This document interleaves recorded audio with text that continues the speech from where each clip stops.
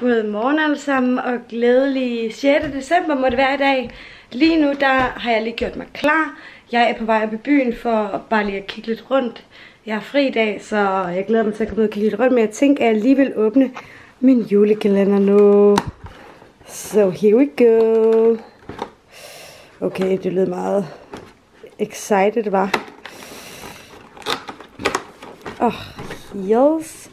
Okay, sådan en butter et eller andet igen i farven seashell. Uh, og den virker meget, meget lyserød, var. Nå, den får jeg lige at se swatchet senere i den her video, så viser jeg den, jeg fik i går, og den her, jeg har fået i dag. Men rigtig fin, tror jeg. Nok mest til sommer. Så skal vi herover og se, om jeg kan finde den sjette. Øh, der en Twix. Lækkert.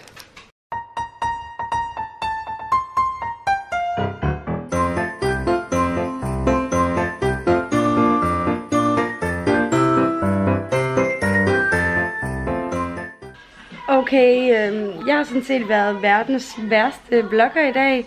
Eller, ja, det er vel egentlig bare det, jeg har været. Jeg var i byen, jeg filmede et lille kort klip af, jeg var inde i sådan en øh, genbrugs antikforretning. Så har jeg haft hentet min søster fra hendes skole. Vi var så i Rosengårdscenteret, og nu er jeg endelig kommet hjem. Klokken den er 10 minutter i 4, og jeg skal først til at redigere gårdsdagens vlog nu. Så det er det, jeg gør lige nu, og så vender jeg stærkt tilbage til jer med forhåbentlig en hyggelig aften i vente.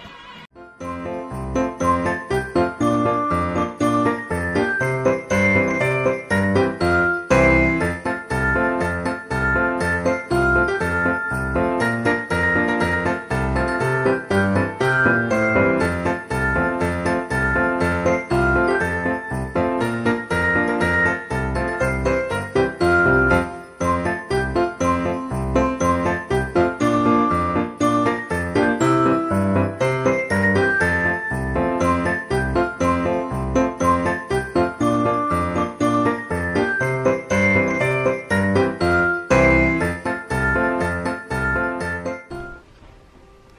god?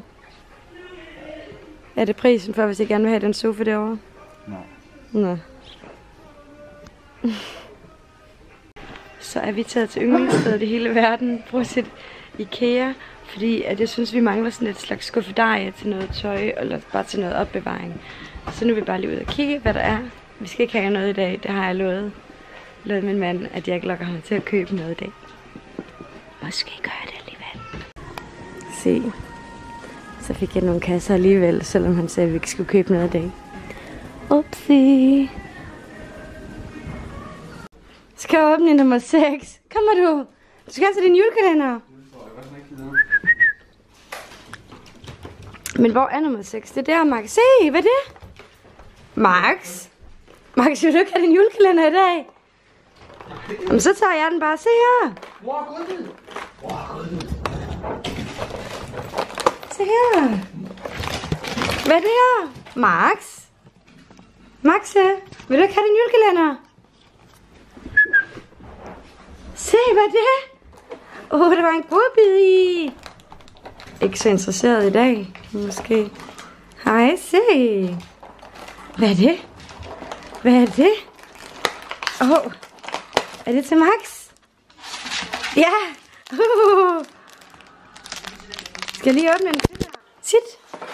Sit. Sit. Dæk. Sit. Nej. Sit. Nej. Giv på det. Og den anden på det. Og high Nej. High five. Dygtig, du er så dygtig. Åh, oh, værsgo. Farvel. Var den god? Så var den væk. Du er dygtig. Ja, du er dygtig.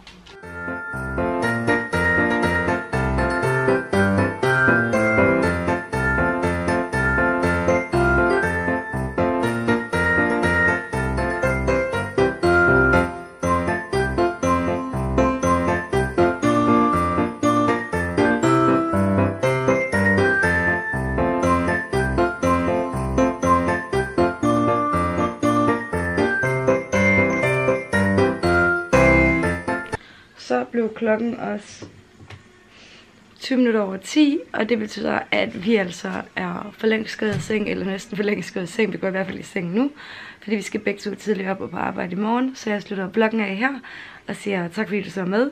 Husk nu at like og subscribe, indtil vi ses i min næste video, som er i morgen. Så må I bare have det rigtig, rigtig dejligt. Hej hej.